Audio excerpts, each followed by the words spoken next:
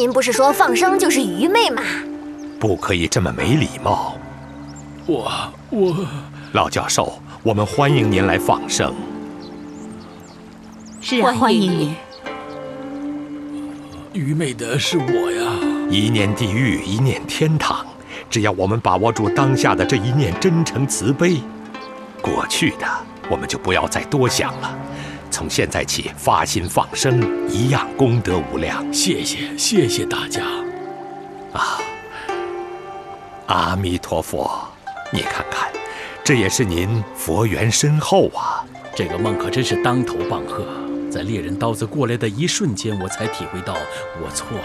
因为你以前反对和阻挠人家放生，跟众生结下的冤仇太深太重了，所以菩萨慈悲用这个梦境来点醒你。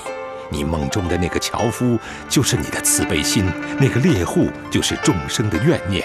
恶念的力量压过慈悲心，你施加给众生的冤屈痛苦，自然就绕回来加到你的头上。我也不知道我以前到底怎么了，那么肆无忌惮地反对放生，现在想起来真是一身冷汗呐。哎，如果那些还在反对放生的人也能像您这样就好了。为什么现在反对放生的人那么多呢？因为放生是最简单易行的消业障方法。我们累劫多生以来，多少冤家债主，哪里肯让我们这么轻易的就消除业障、成就道业？自然是千方百计，运用各种方式混淆视听，阻挠我们放生啊！我以前成天在电视里宣扬错误的观念，加害众生，真是罪过呀！老教授。只要我们从今天起积极的放生护生，同样功德无量的。首先，我要承认我犯下的错误，不知有多少生命因我而受苦受难。今天我要声明，放生就是智慧，放生就是拯救我们自己的良知。啊，对呀，这位老教授觉悟了。嗯，好像还是有很多人不支持放生。我也觉得现在提倡放生很难，这是为什么呢？现在是末法时代，众生业障深重，福分越来越薄，大多数人被自己的欲望牵着鼻子走，把杀生害命当成是享受，把修善积福看成是愚蠢，失去了分辨是非善恶的能力，放生的因果道理相当深奥。被世俗偏见所阻碍的人们，对放生没有办法升起信心，也是理所当然的。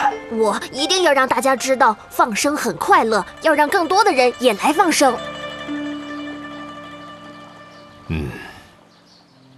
再说，放生一定要很小心，不能随便放。有人把鳄鱼放到公园里的水池内，造成游园大众的惊慌。也有人把一些毒蛇放到市区内的小山坡上，造成社区住户的恐惧。这样的放生一定会破坏社会的安静，自然被人反对。所以在发心放生前要计划周详，这样被放的物命才能继续活下去。天地万物都有灵性，哪有不知道感恩图报的？也许下辈子还得靠它来救我们呢。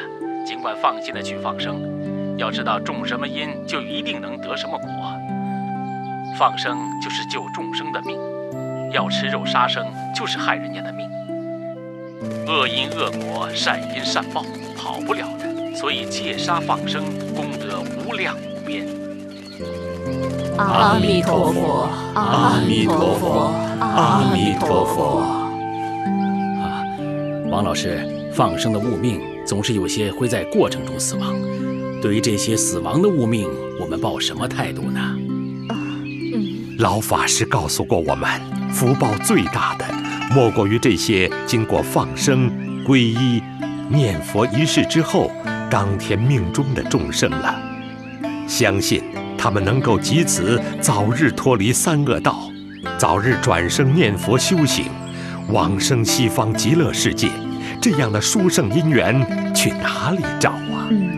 所以，我们只管发慈悲心，救赎生命，设身处地的为每一个生命着想。就算误命，万一不幸死亡，也给予了这些众生无限的祝福，也算功德圆满。阿弥陀佛，阿弥陀佛，阿弥陀佛。